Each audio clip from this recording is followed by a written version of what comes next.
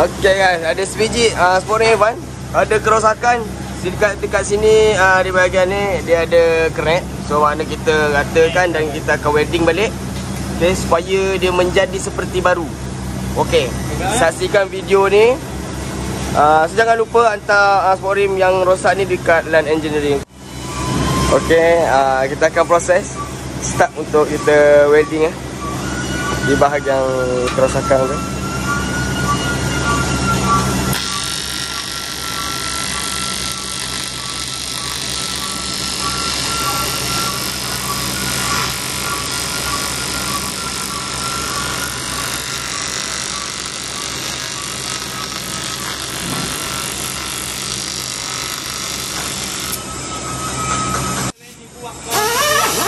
Okay, selepas kita wedding kita sapu uh, Okay, kita sapu balik Supaya dia nampak uh, sama Ratakan dia punya tu, bagi dia licin. Sebelum kita mulakan proses dan uh, rat Okay, kita welding yang mana lagi yang tak kena uh, Dan yang tak rata, kita welding balik. So, kita tak nak ada bocor Lepas kita proses. Okay.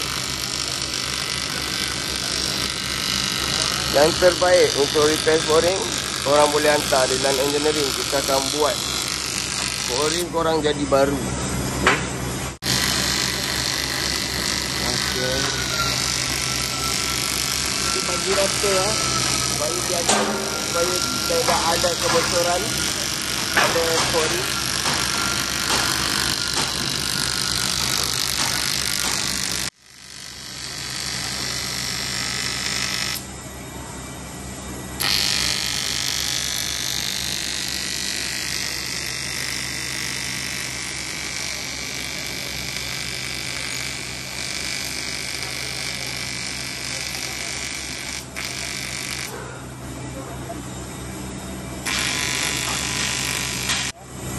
Okey, kita dah siap wedding guys. Okey, kita tengok bahagian ni. Okey. So makna tak ada bocor lagi.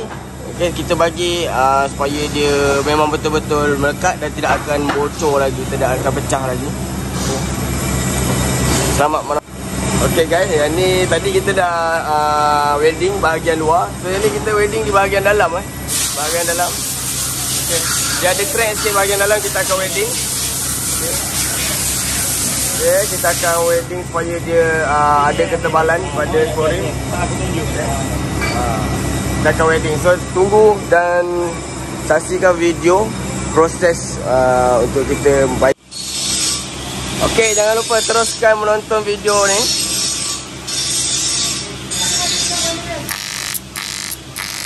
Kita ratakan di bahagian dalam. Kita tak nak ada bocor eh. Kita nak ada bocor. Kita akan buat dia uh, supaya lebih uh, apa lebih kuat lagi dia punya uh, ketahanan tu supaya tidak ada bocor, tidak ada crack lagi.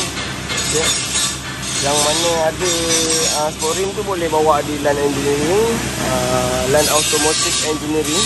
Kita akan buat uh, repair balik sporing. Uh, kita akan buat dengan yang terbaik. Kita akan buat macam pouring baru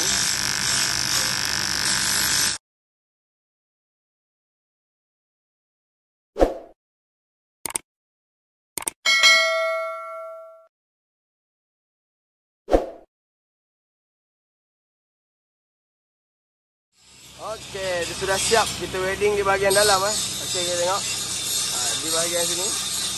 Okey. Sudah siap wedding. Okay, nantikan video selepas kita siap welding semua dan kita akan cat balik forum ni supaya dia uh, menjadi baru. Okay.